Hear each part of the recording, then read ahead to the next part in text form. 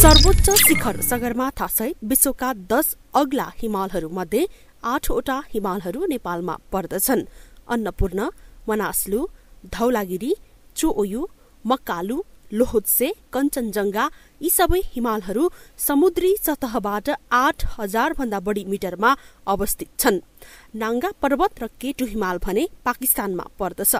विश्वभरमा भइरहेको जलवायु परिवर्तनको असर हिन्दुकुश हिमालय क्षेत्रमा पर्दछ भने स्वाभाविक रूपमा यसको बढी असर नेपालमा नपर्ने कुरै भएन। एकीकृत पर्वतीय विकास केन्द्र इसिमोडको प्रतिवेदनका अनुसार विद्यमान कार्बन उत्सर्जन नघटाए आगामी अस्सी वर्षभित्र हिमाली क्षेत्रका हिउँहरू सबै पग्लने र काला पत्थरहरू मात्रै बाँकी रहने डरलाग्दो अवस्था छ जबकि नेपालको विश्वमा कार्बन उत्सर्जनमा शून्य दशमलव एक प्रतिशत भन्दा पनि थोरै मात्र हिस्सा छ तर असर भने सबैभन्दा बढी समुद्रको पर्यावरण सन्तुलनका लागि पनि हिमालय क्षेत्रको महत्व सन्तुलन कायम राख्न आवश्यक छ and the call to limit global warming to 1.5 degrees. We are committed to the promotion of climate resilient development and aim to move towards a zero carbon economy. To recognize the value of the Himalayas, to maintain ecological balance in the oceans and control global warming. Nepal will submit enhanced indices by the end of this year and develop an ambitious long-term strategy to reach net zero scenario by 2050. त्यसो त नेपाल र छिमेकी राष्ट्र चीनले संयुक्त रूपमा सर्वोच्च शिखर सगरमाथाको उचाइ आठ हजार आठ सय अडचालिस दशमलव आठ छ मिटर भनेर सार्वजनिक गरेको छ। जलवायु परिवर्तनको असर हिमालय क्षेत्रमा निरन्तर परिरहँदा पनि सगरमाथाको हिउँ नपग्लेको र उचाइ अझ बढेको भन्दै सबैले गौरव गरिरहेका छन्।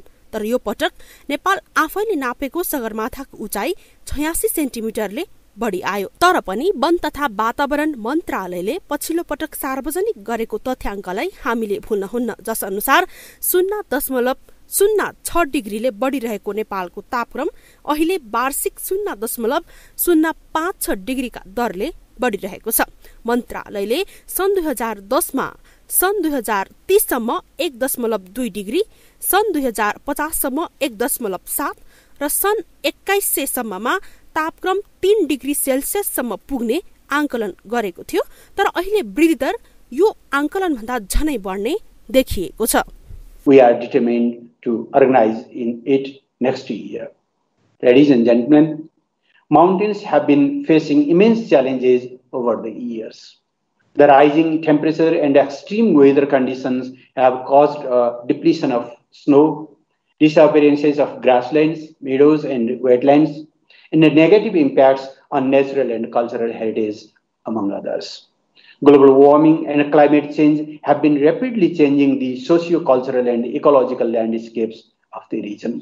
सन् दुई हजार पन्ध्रको पेरिस सम्झौतामा विश्वका एक सय सन्तानब्बे देशले जलवायु परिवर्तनको असरलाई ध्यान दिँदै पृथ्वीको तापक्रम दुई डिग्री सेन्टिग्रेड भन्दा तल एक दशमलव पाँचमा राख्ने सहमति गरेका थिए।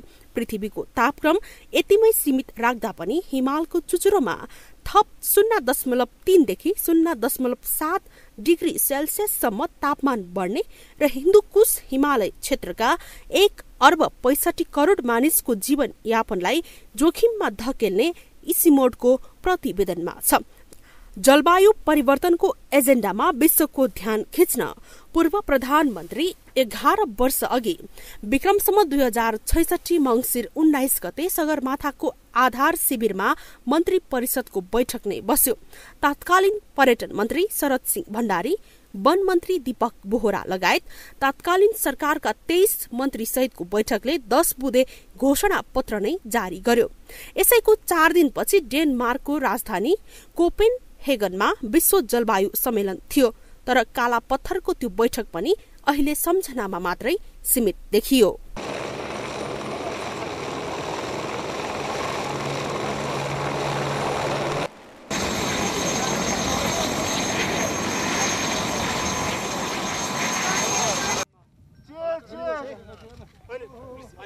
I am, I and we are trying to give the message to the world.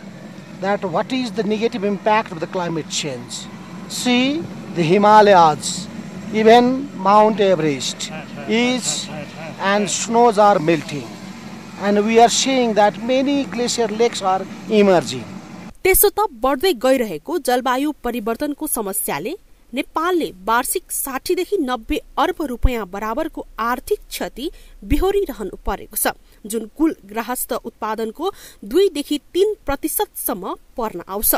जल तथा मौसम विभाग लगायत तीस वर्षभन्दा बढ़ी समयदेखि नियमित वर्षा र तापक्रम मापन गर्ने अस्सीवटा भन्दा बढ़ी केन्द्रको तथ्याङ्क अनुसार पनि पछिल्लो चालिस वर्षको तापक्रम वृद्धि दर अझ बढ़िरहेको देखाएको छ। यसर्थ हिमालय क्षेत्रको सन्तुलन कायम हुँदा नै पर्यावरण र आर्थिक दुवै लाभ हुने अर्थशास्त्रीहरू बताउँछन्। सस्टेनेबल चाहिँ इन्डस्ट्री चाहियो त हामीलाई। पछिसम्मको लागि सबैलाई गर्ने भन्ने। त्यो सायद त्यो पानी नै होला। जनसङ्ख्याको चाप बढ्दो छ। बढेपछि बाँकी रहेको वन पनि बिस्तार बिस्तार जाने हो। कहिलेसम्म हामीले टेकाउन सक्छ थाहा छैन। भनेपछि बाँकी रह्यो त के भने त्यो एउटा पानी हो। त्यो पानी पनि भगवान्को कृपाले त्यो माथि चाहिँ हिम नदी भएर आएर बाह्रै महिना आउने त्यस्तो किसिमकोले र त्यो त्यो अब अहिले यो सगरमाथाले पनि एउटा कुरा के पुष्टाइ गर्यो भने कमसेकम अब निकट भविष्यमा त्यो हिउँ पग्लेर त्यहाँबाट आउने जुन जलस्रोत हो त्यसलाई चाहिँ केही पार्ला जस्तो देखिँदैन। त्यो अहिले चलिरहन्छ होला। अहिले त्यो हामीले पाइरहन्छौँ तर त्यसको प्रबन्धन त हाम्रो कुरा हो नि त। पानीको चाहिँ अथा ऊ भएको मुलुकमा पानी खानलाई हामीलाई गाह्रो। हप्तामा एकचोटि पानी दिने त्यो पनि दुई चार घन्टा दिने त्यो पनि पानी ताने कि के गरे के गर्यो पानी पुग्दैन घरमा। काला पत्थर बैठकले समेटेको एजेन्डा लगायत जलवायु परिवर्तनका विभिन्न मुद्दाहरू कार्यान्वयनको चरणमा रहेको सरकारले बताउँदै आएको छ। जलवायु नीति राष्ट्रिय र स्थानीय अनुकूल कार्यक्रम जलवायु परिवर्तन महाशाखा गठन लगायत संस्थागत संरचना तयार भएको र विदेशी सहायता पनि भित्रिएको वन तथा वातावरण मन्त्रालयले जनाएको छ। The government of Nepal has taken a number of concrete steps to ensure that our development pathway is resilient to climate change and inclusive through policy formulation, institutional arrangements, and strengthening program development and implementation.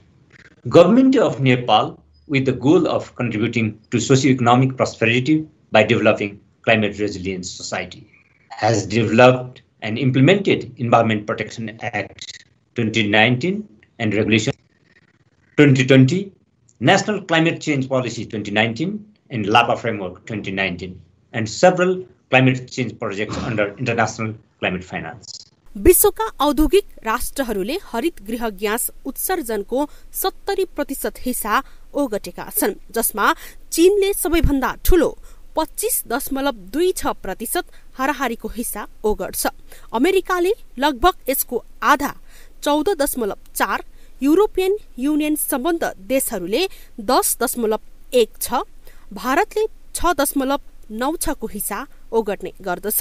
नेपालको सन्दर्भमा वर्षेनी आउने बाढी पहिरो भूक्षय र हिम पहिरोबाटै पनि भौतिक र आर्थिक क्षति हुँदै आएको छ। विश्वभरमा जलवायु परिवर्तनका कारण हिमाली क्षेत्र एवं विकासशील देशहरूमा आइरहेको असरलाई कम गर्न समयमै सचेत हुन जरुरी छ।